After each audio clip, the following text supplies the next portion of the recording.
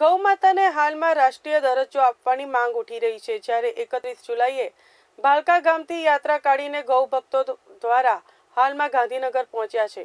ગૌ ભક્તો દ્વારા ગાયને રાષ્ટ્રીય માતાનો દરજ્જો આપવાની માંગ ઉઠી રહી છે. વિધાનસભામાં ગૌ માતાને રાષ્ટ્રીય માતા જાહેર કરવા માટે બિલ પસાર કરવાની માંગ કરી છે. ગૌ ભક્તોએ સરકારને ત્રણ વાગ્યા સુધીનું અલ્ટિમેટમ આપ્યું છે અને જો સરકાર દ્વારા કોઈ નિર્ણય નહીં કરાય તો ગૌ ભક્તો સરકાર સામે નવી રણનીતિ બનાવીને સરકાર સામે ઉગ્ર વિરોધ કરશે તેવી ચીમકી આપવામાં આવી છે.